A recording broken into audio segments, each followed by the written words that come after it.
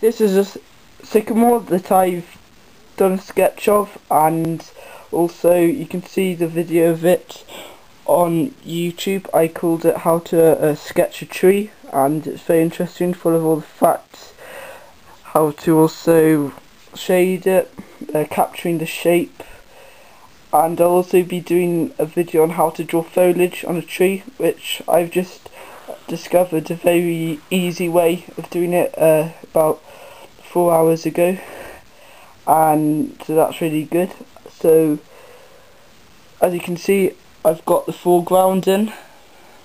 It's uh, got a small uh, blackthorn there got the gate some ivy we've got a sort of small well there and we're now going to move on to another sycamore that you haven't seen.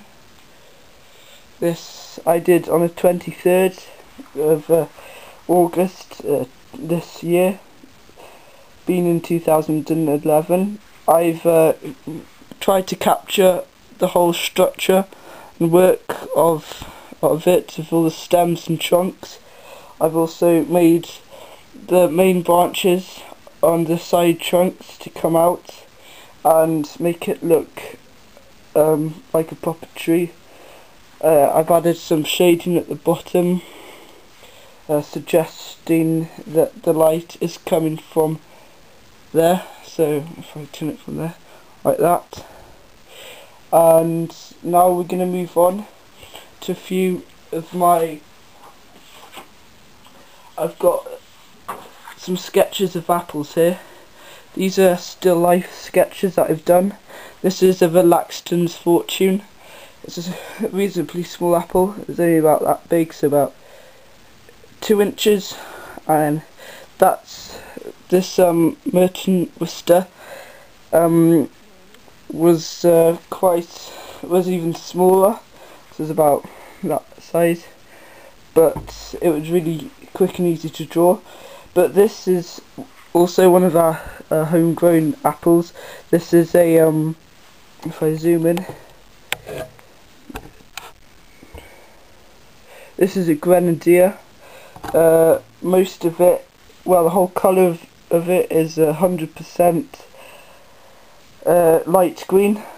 And it took me about five minutes to draw that picture and two to three minutes for the other two and we're now going to move on to another couple of sketches.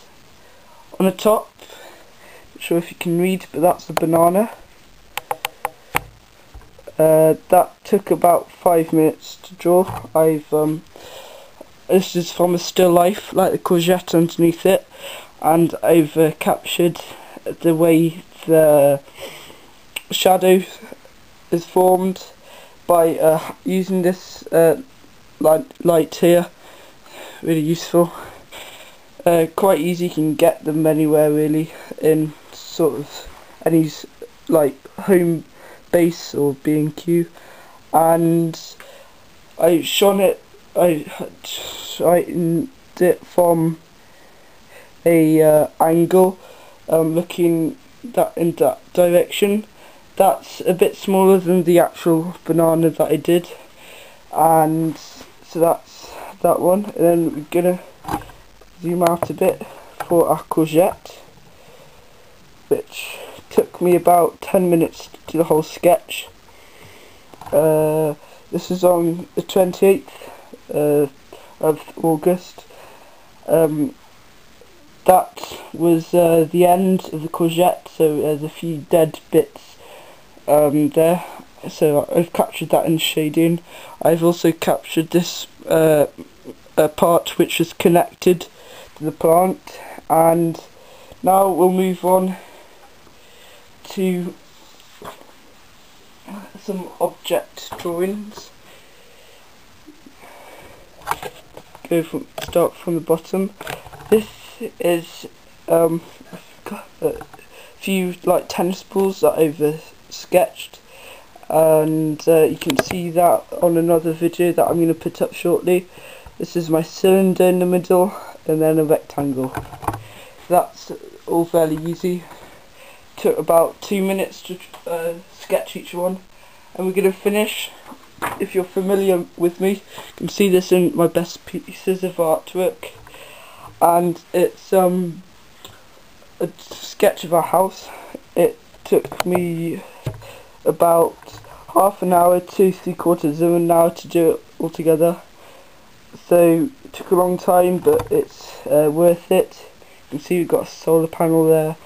Got I've captured uh, the shading of the tree at the back um, uh, but by the way the foliage isn't like that tree right at the back. It's um, a much uh, better way and maybe I'll just look at my sketchbook now to see and uh, show you an example. Right this is the foliage that I do. It's really really simple and easy. Uh, this is just the start of the tree. Um, as it looks quite a bit odd we're going to have the main trunk coming out there. And it, I'll do I'm going to do a separate video now on how to create a um, leaf and foliage effect like that. So I hope you enjoyed and I'll do another uh, sketching video put it up really uh, shortly and I'll see you next time. Bye